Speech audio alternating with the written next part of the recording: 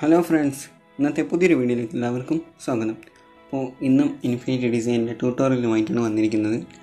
അപ്പോൾ ഇൻഫിനിറ്റി ഡിസൈനിൽ നിന്ന് ഡിജിറ്റൽ ആർട്ട് ചെയ്യുന്ന ട്യൂട്ടോറിയലാണ് ഓക്കെ ഒരു ഫുൾ ട്യൂട്ടോറിയലാണ് ഓക്കെ അപ്പോൾ ഞാൻ ഇൻഫിനിറ്റി ഡിസൈൻ ഓപ്പൺ ചെയ്ത് വെച്ചിട്ടുണ്ട്.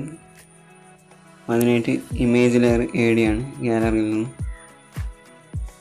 ഓക്കെ ഞാനിവിടെ എടുത്തു വെച്ച ഒരു ഏതെങ്കിലും ഒരു ഫോട്ടോ സെലക്ട് ചെയ്യണം.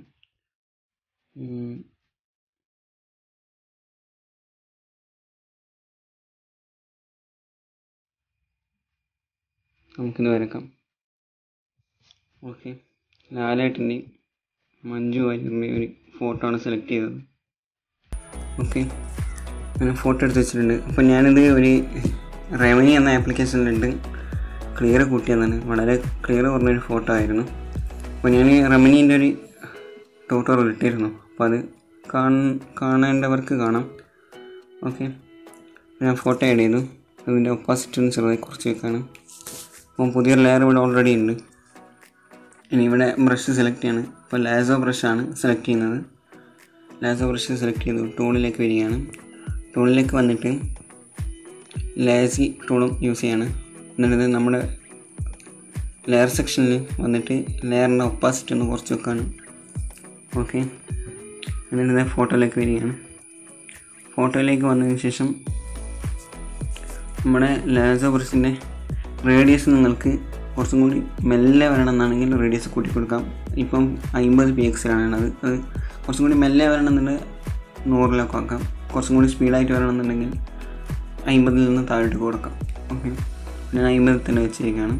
എന്നിട്ട് ഇതുപോലെ ഔട്ട്ലൈൻ എടുക്കുകയാണ് അപ്പോൾ ഔട്ട്ലൈൻ ഇടുമ്പോൾ നല്ല കുറുമിച്ചിട്ട് തന്നെ ഇട്ടേക്കാം. ഹെയറിന്റെ ലൈൻസ് വരുന്ന രീതിയിൽ. ഇങ്ങനെ ഔട്ട്ലൈൻ അങ്ങ് ഇട്ടേക്കാം.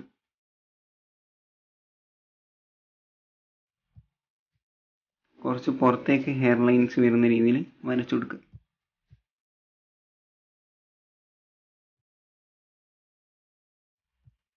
ഞാനിപ്പോൾ ഒപ്പാസിറ്റി കുറച്ച് വെച്ചതുകൊണ്ടാണ് അടിയത്തെ ലെയർ കാണാൻ സാധിക്കുന്നത്. അത് ഇതുപോലെ ഇങ്ങനെ വരക്കാണ്.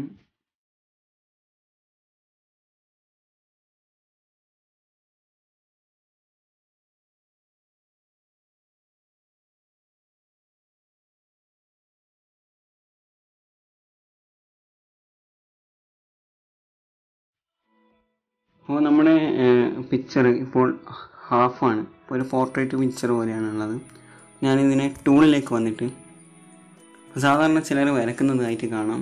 ഒരു ഫോട്ടോയുടെ പുറമേ പുറമേയൊക്കെ വരുന്നതായിട്ട് കാണാം. ഒരു വൃത്തി കിട്ടാത്ത രീതി. ഇപ്പം ഞാനിവിടെ ക്രോപ്പ് എന്ന ഓപ്ഷൻ ഉണ്ട് ഇവിടെ. നമുക്ക് അടിയിലായിട്ട് ടൂളിൽ വന്നതിനാൽ അടിയിലായിട്ട് ക്രോപ്പ് എന്ന ഓപ്ഷൻ കാണാം.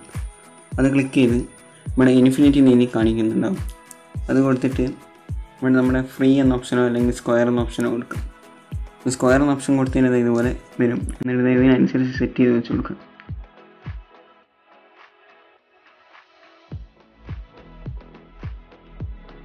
ഓക്കെ അത് ഇങ്ങനെ കറക്റ്റ് സെറ്റ് ചെയ്ത് കൊടുക്കും. അത് ടിക്ക് കൊടുത്തതിന് ഇനി ഇനി വരക്കുന്ന ഇതൊന്നും പുറമേക്ക് പോവില്ല. പിന്നെ ഇതുപോലെ വരച്ച് കൊടുക്കാം മുഴുവനായിട്ടും.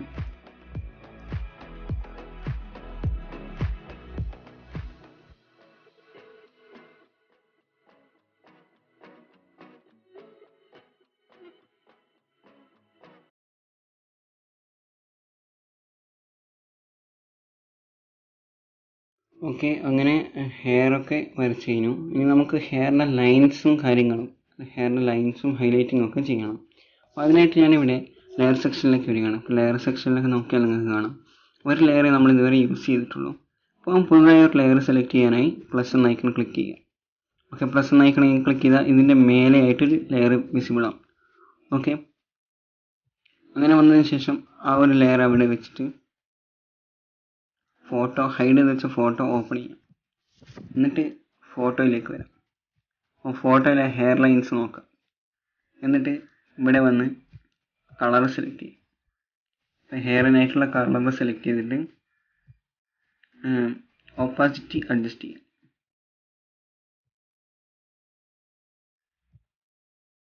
ഓക്കെ ഒപ്പാസിറ്റി അഡ്ജസ്റ്റ് ചെയ്തു. എന്നിട്ട് ബ്രഷ് സെക്ഷനിലേക്ക് വരികയാണ്. ബ്രഷ് സെക്ഷനിലേക്ക് വന്നു കഴിഞ്ഞാൽ ടാപ്പ് റൈഡ് ബ്രഷാണ് ഹെയർ ലൈന് വരക്കാനായിട്ട് യൂസ് ചെയ്യുന്നത്. അപ്പോൾ ടാപ്പ് റൈഡ് ബ്രഷ് എടുത്തു. എന്നിട്ട് ഇതുപോലെ ബ്രഷിന്റെ സൈസ് അഡ്ജസ്റ്റ് ചെയ്തിട്ട് ഇതുപോലെ ഹെയർ ലൈൻസ് അതിൽ നോക്കി ഏഡ് ചെയ്ത് കൊടുക്കുക.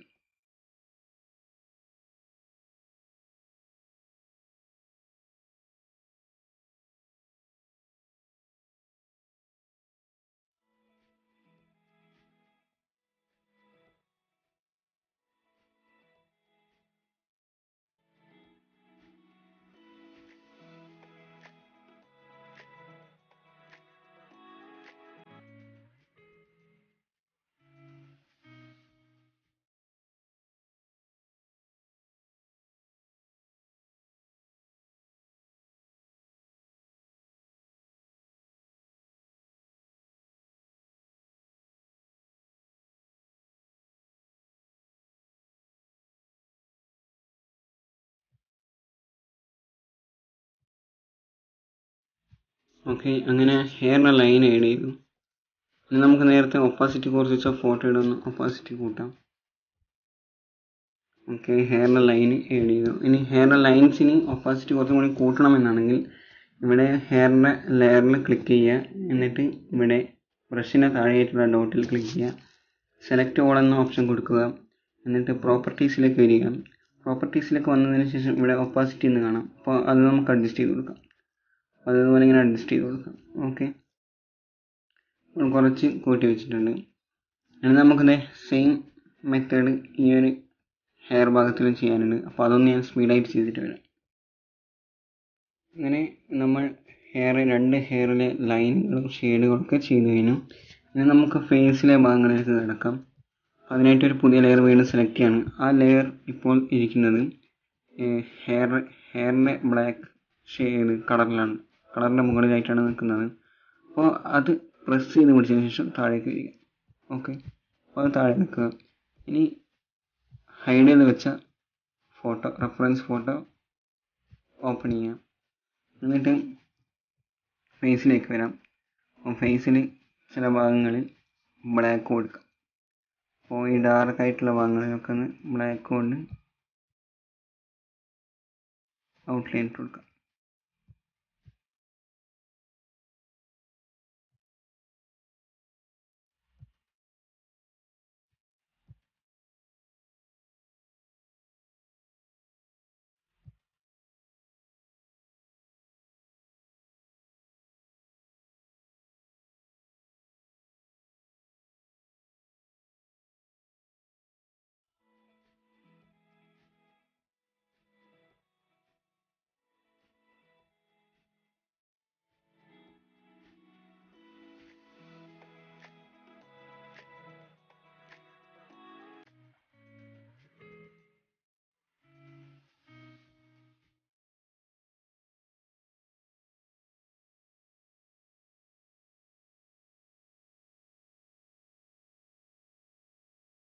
ഓക്കെ അങ്ങനെ ഇത്രയും ഭാഗം ചെയ്തു കഴിഞ്ഞു.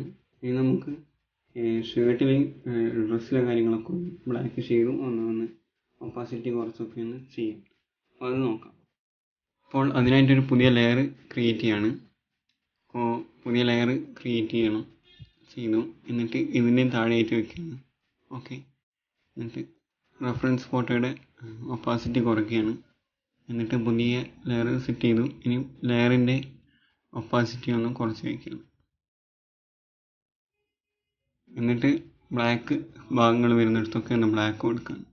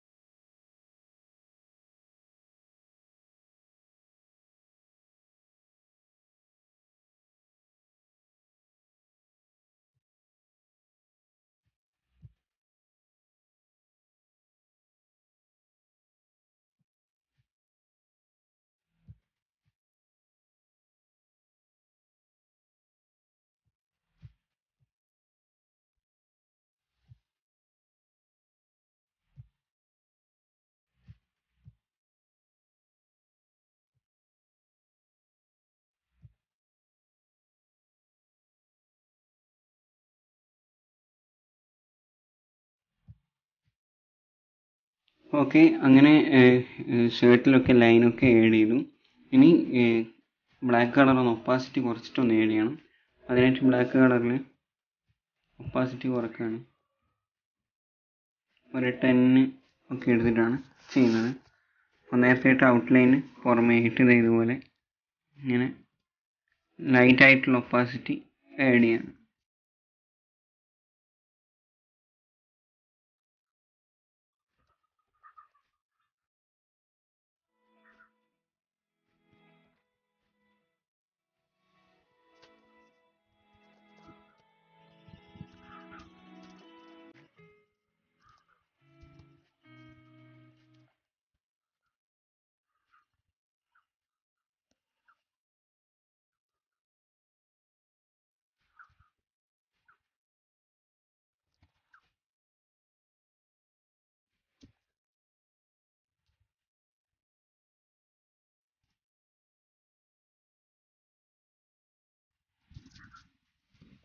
അങ്ങനെ ഡ്രസ്സിലെ ഷെയ്ഡിങ്ങുകൾ ഏഡ് ചെയ്തിട്ടുണ്ട്. ഇനി ഡ്രസ്സിലേക്കുള്ള കളറുകൾ അങ്ങ് ഏഡ് ചെയ്ത് കൊടുക്കാം.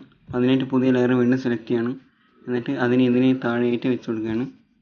എന്നിട്ട് ഡ്രസ്സിലെ കളർ പിക്ക് ചെയ്യാനായിട്ട് സൂം ചെയ്ത് കളർ പിക്ക് ചെയ്തെടുക്കുകയാണ്. പിക്ക് ചെയ്തതിന് ശേഷം ഒന്ന് ഡാർക്ക് ആക്കി കൊടുക്കുകയാണ്. ഓക്കെ ആ കളർ ഒന്ന് ഡാർക്ക് ആക്കി. എന്നിട്ട് റെഫറൻസ് ഫോട്ടോ ഒന്ന് ലൈറ്റായിട്ട് ഏഡ് ചെയ്തിട്ട് കളർ ചെയ്ത് ഏഡ് ചെയ്ത് കൊടുക്കാം ഞാൻ നേരത്തെ ഒപ്പാസിറ്റി കുറച്ച് വെച്ചതുകൊണ്ട് അതൊന്ന് കൂട്ടുകയാണ് എന്നിട്ട് ഇതുപോലെ കളറിങ് ഏഡ് ചെയ്ത് കൊടുക്കാം. നമ്മളിതിൽ ഔട്ട്ലൈൻ യൂസ് ചെയ്യാനാണ് ചെയ്യുന്നത്. ഔട്ട്ലൈൻ ഇങ്ങനെ പുറമേ യൂസ് ചെയ്താണ് ഉള്ളിൽ ഔട്ട്ലൈൻ യൂസ് ചെയ്യുന്നുണ്ട്.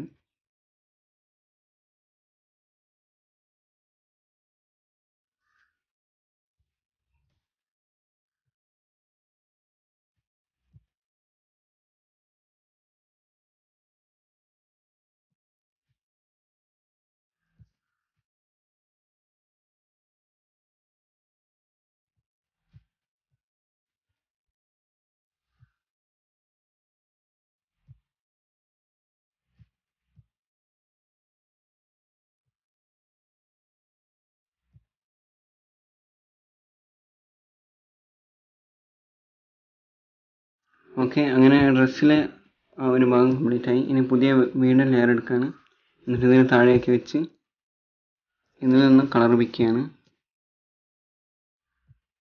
കളർ പിക്ക് ചെയ്തു. എന്നിട്ട് അത് നേരിട്ട് ഇതിനകത്ത് അപ്പ് ആഡ് ചെയ്ത് കൊടുക്കുകയാണ് അങ്ങനെ ഈ രണ്ട് സെക്ഷനിലാണ് ഇത് വരുന്നത്. ആ രണ്ട് സെക്ഷനിൽ ആഡ് ചെയ്ത് കൊടുത്തിട്ടുണ്ട്. ഈ ഒരു ചെറിയൊരു ഭാഗം. അത് ആഡ് ചെയ്തു. ഇനി പുതിയ ലെയർ വീണ്ടും സെലക്ട് ചെയ്യുന്നു. ഇതിനെ താഴെയാക്കി വെക്കുന്നു. എന്നിട്ട് കളർ പിക്ക് ചെയ്യുന്നു.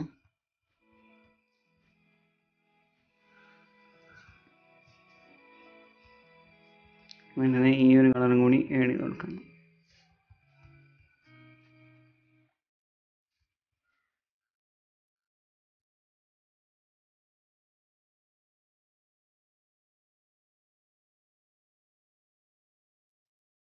എന്നിട്ട് ബ്ലാക്ക് കളർ എടുക്കുന്നു. അതിന്റെ ഒപ്പാസിറ്റി കുറച്ചിട്ട് ഇങ്ങനെ ഒന്ന് ആഡ് ചെയ്ത് കൊടുക്കുകയാണ്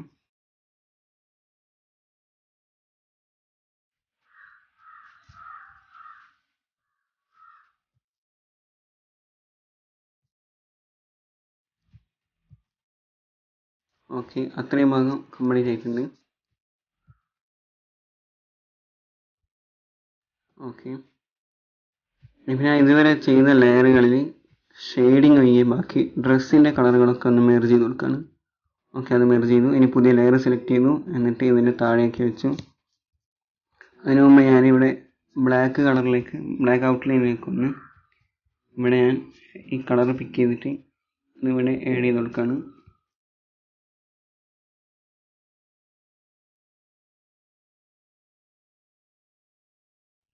ഓക്കെ അതവിടെ ആഡ് ചെയ്തു. ഇനി പുതിയ ഈ നേരത്തെ എടുത്തു വെച്ച പുതിയ ലെയറിലേക്ക് വരികയാണ്. ഇനി ഫേസിന്റെ ഷെയ്ഡിങ്ങിലേക്ക് എടുക്കാം അതിനു മുമ്പേ നമുക്ക് ലിപ്സും ടീത്തൊക്കെ ഒന്ന് വരച്ചു കഴിഞ്ഞാൽ നമുക്ക് പിന്നീട് ആ ഭാഗം ചിന്തിക്കേണ്ടതില്ല. അതിനായിട്ട് ഞാൻ വൈറ്റ് കളർ പിക്ക് ചെയ്തു. പിന്നെ ഇതുപോലെ ഏഡ് ചെയ്ത് കൊടുത്തു. ഓക്കെ.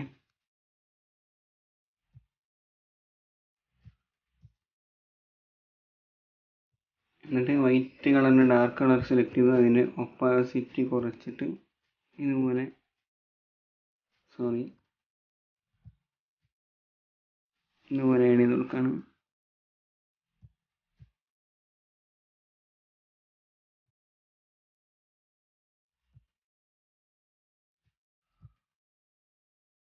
ഓക്കെ അത് എഴുതി പുതിയ ലെയർ വീണ്ടും സെലക്ട് ചെയ്യുന്നു. എന്നിട്ട് ഇതിന്റെ താഴേക്ക് വെക്കുന്നു. എന്നിട്ട് ലിപ്സിന്റെ കളർ എടുക്കുകയാണ് ലിപ്സിന്റെ കളർ എടുത്ത് ഇത് ഇതുപോലെ അപ്ലൈ ചെയ്ത് കൊടുക്കുക ലിപ്സിന്റെ കളർ വേണമെങ്കിൽ ഇതിൽ നിന്ന് തന്നെ പിക്ക് ചെയ്ത് കൊടുക്കാവുന്നതാണ്. നമ്മൾ ചെറിയൊരു ചെറിയൊരു മാറ്റമല്ലാതെ കളറിന് ചെറിയൊരു മാറ്റം വരുന്നതാണ് പിക്ക് ചെയ്യുമ്പോൾ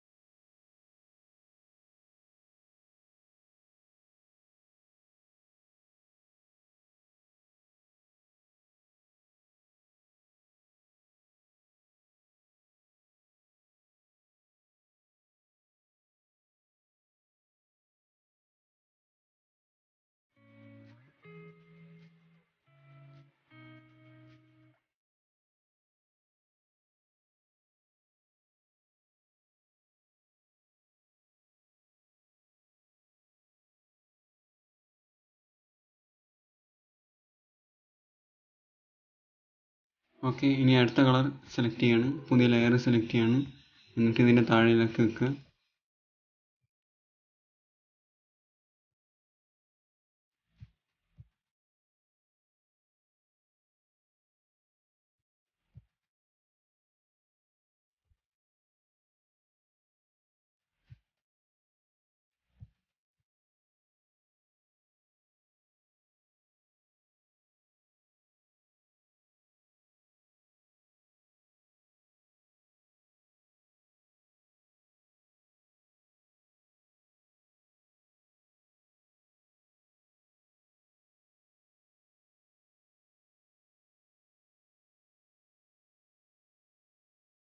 ഓക്കെ ഇനി അടുത്ത കളർ സെലക്ട് ചെയ്യാം.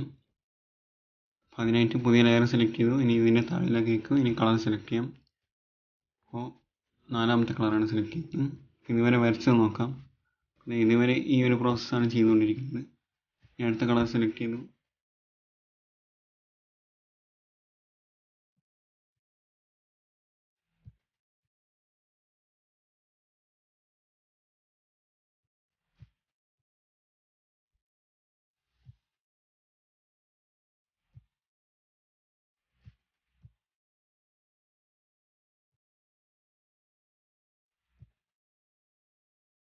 ഓക്കെ അങ്ങനെ ഫോർത്ത് ഷെയ്ഡിങ് കംപ്ലീറ്റ് ആയി.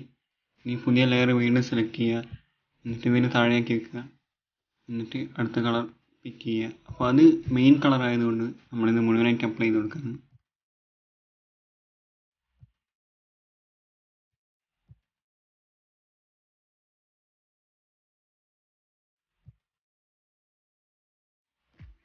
ഓക്കെ അത് ഞാൻ മുഴുവനായി അപ്ലൈ ചെയ്ത് കൊടുത്തു. ഇവിടെ ഒരു ചെറിയൊരു ഭാഗം വിട്ടുപോയിട്ടുണ്ട് അപ്പോൾ നമ്മൾ ഹാക്ക് കൊണ്ട് അഡ്ജസ്റ്റ് ചെയ്യാണ്. ഓക്കെ അപ്പോൾ മെയിൻ കളർ ഞാൻ ആഡ് ചെയ്തു. ഇനി പുതിയ ലെയർ സെലക്ട് ചെയ്യുക. അത് ഇതിന്റെ താഴെയിലൊക്കെ ആക്കി വെക്കണ്ട. എന്നിട്ട് ഇതേ ലാസ്റ്റ് ഹൈലൈറ്റിംഗ് കളർ എടുത്തത് ഈ ഒരു ഭാഗമൊക്കെ ഒന്ന് ഹൈലൈറ്റ് ചെയ്ത് കൊടുക്കുകയാണ്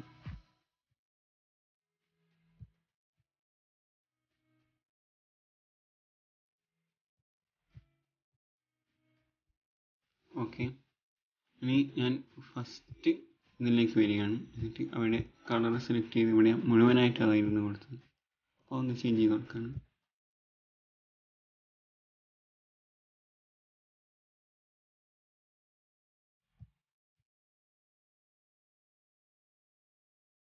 ഓക്കെ